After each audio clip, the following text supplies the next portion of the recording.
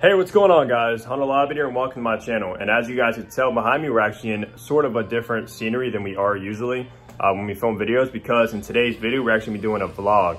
And with that vlog, we're actually going to head over to TJ Maxx to see if we can find any kind of like hidden gems or anything like that as far as fragrances go.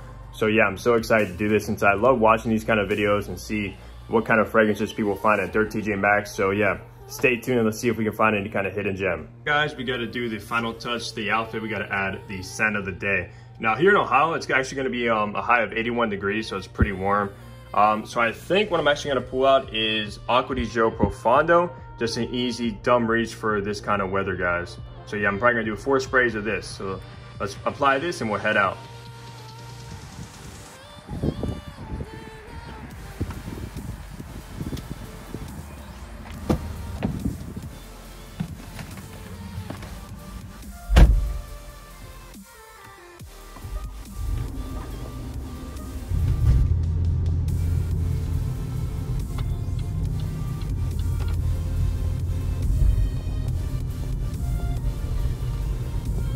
Land Rover Range Rover Sport SVR.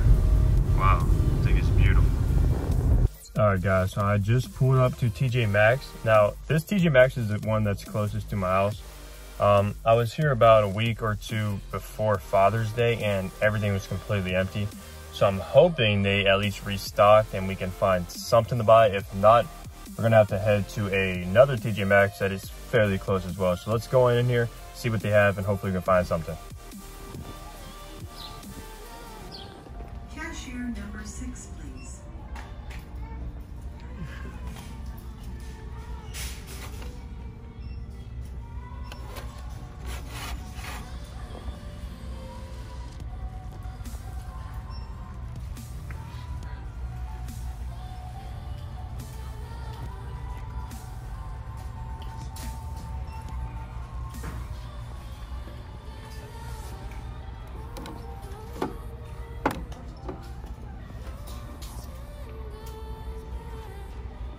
All right, so I just pulled up to the next TJ Maxx. Um, as you guys can see from the previous clip, at the other TJ Maxx, there's absolutely nothing. All they pretty much had was Dolce & Gabbana Light Blue, which wasn't even the Eau Extreme. If it, I mean the Eau Intense. If it was the Eau Intense, I probably would have picked that up since I don't own it. But it was only the original uh, light blue. So um, at this new TJ Maxx, I'm gonna go in there and see if we can find anything to buy, guys. So let's go in and take a look.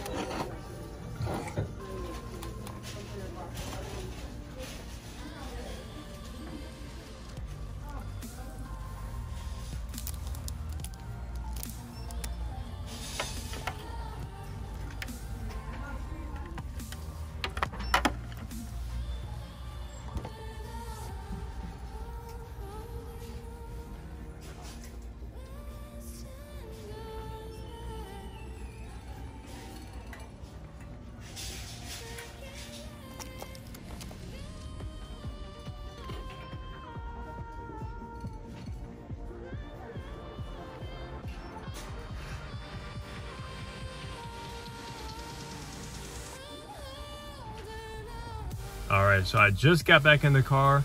Um, I actually did find some things in there as you guys can see from the video.